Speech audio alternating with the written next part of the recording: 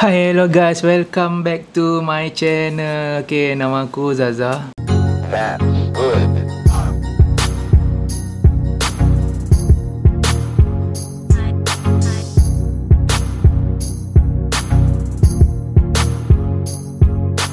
Boleh panggil aku Zah Okay, dekat dalam uh, video hari ni uh, Aku nak kongsi uh, Kenapa aku sebenarnya daripada dulu uh, Aku tak suka YouTube Buat dislike button. Dan beberapa hari lepas Aku rasa dalam 10 hari bulan 11 hari tu uh, Yang mana tarikh hari tu Tarikh hari jadi aku. Dan lepas tu YouTube umumkan Dia orang nak buang Ataupun um, bagi hide dislike button. Di mana Kalau korang tengok lepas ni YouTube Dia akan ada like button dengan beberapa uh, korang boleh tengok beberapa like yang orang suka untuk video video tu. Tetapi kalau dekat dalam dislike button dia tak akan tunjuk beberapa likes lah. Contohnya kalau ada orang dislike dia tak akan dipaparkan secara umum lah. Itu hanya cuma kita punya daripada segi backend untuk kita tahu bahawa video kita ni sesuatu video yang bagus ataupun tak lah. Dan aku memang bersetuju sangat lah. Kenapa, kenapa? Sebabnya ok salah satu benda yang aku rasa daripada dulu sampai sekarang lah. Macam contoh macam creator content macam aku baru-baru start baru nak berjinak-jinak baru nak up untuk di dalam vlogging untuk buat YouTube dan sebagainya lah. Ok apa yang aku dapati lah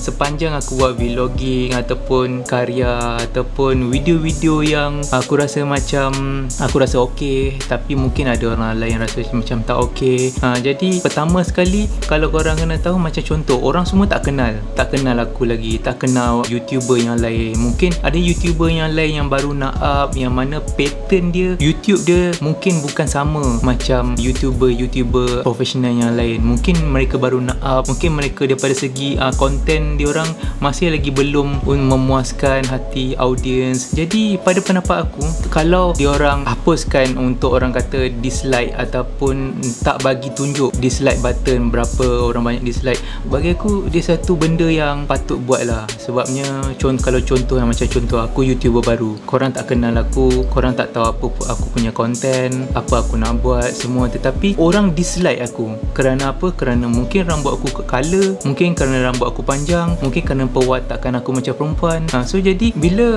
untuk menepati saranan youtube yang mana semua kereta orang kata dia punya konten tu semua nak bagi sama adil ok kita tak nak orang kata macam ok youtuber yang baru semua orang ha, sokong. Sebab dia youtuber ni okey youtuber yang baru yang mana uh, dia punya konten macam tak okey uh, tak sokong semua. Tetapi bagi aku aku lebih sukakan dengan pendekatan yang macam ni lah. Sebabnya kalau di butang dislike tu tak dipaparkan that's a big problem when half of YouTube's mission is to give everyone a voice. mungkin orang lain punya perspektif orang kata dia punya sentimen orang ni kalau sometimes orang bila tengok video tu dislike banyak mungkin orang kata oh video ni is not worth watching kan? Ha, tetapi kalau macam macam bagi content creator macam kita orang macam yang baru ni. Cuma kalau butang tu tak ada nampak okey butang dislike tu berapa dislike button tak nampak. Jadi orang lain semua macam akan menonton tetapi adakah worth watching ataupun tak mereka kena tengoklah video tu sampai habis. Sebabnya kadang-kadang content creator ni bukannya semuanya sama. Kadang-kadang bukannya content creator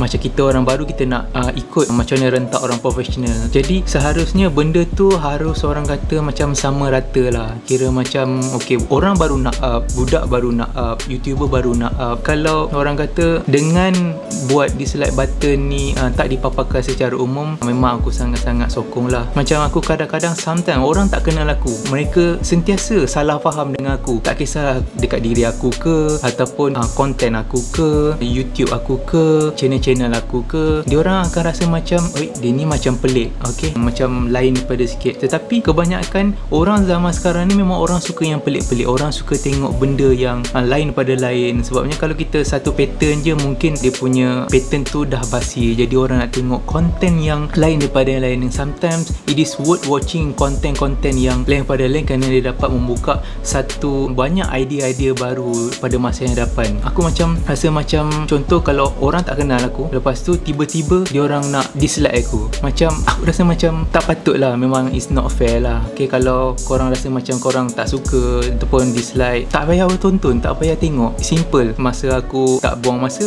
masa korang pun tak buang masa betul tak? Dengan benda tu dia akan mengurangkan populasi orang kata diskriminasi lah terhadap uh, youtuber-youtuber konten yang baru yang nak up yang mana mungkin dia orang punya cara YouTube berlainan daripada kandungan semasa ataupun daripada lain pada youtuber-youtuber yang dah lama di dalam YouTube.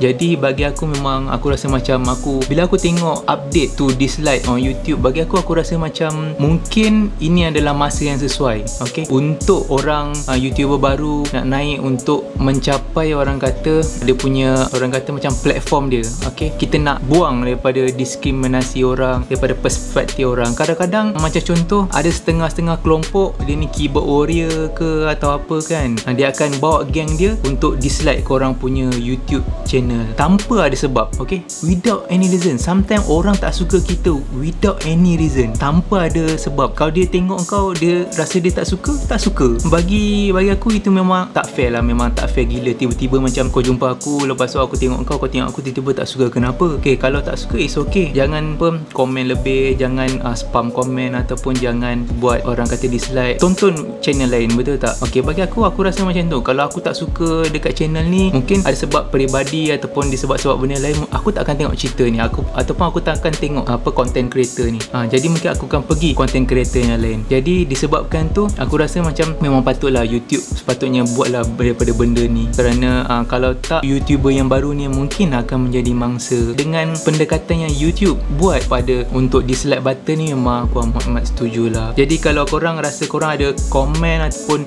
um, pandangan cadangan okay, uh, korang jangan lupa uh, komen dekat bawah ni kenapa dan sebabnya kenapa. Mungkin masing-masing pun ada pendapat masing-masing aku ada pendapat masing-masing korang ada pendapat masing-masing. So jadi korang boleh share dekat aku punya komen ni. Dan jangan lupa untuk pada masa depan nanti kalau aku tengok okey aku akan um, buatlah konten terhadap korang punya komen ni lah kalau ada sambutan kan. Okey jadi kalau pada masa depan kita akan review untuk benda-benda yang lain. Okey jadi terima kasih lah kerana sudi tonton aku punya video kali ni. Uh, so kita akan jumpa pada masa yang depan. Okey jadi jangan lupa untuk subscribe uh, aku punya channel. Kita akan pada masa yang akan depan okay bye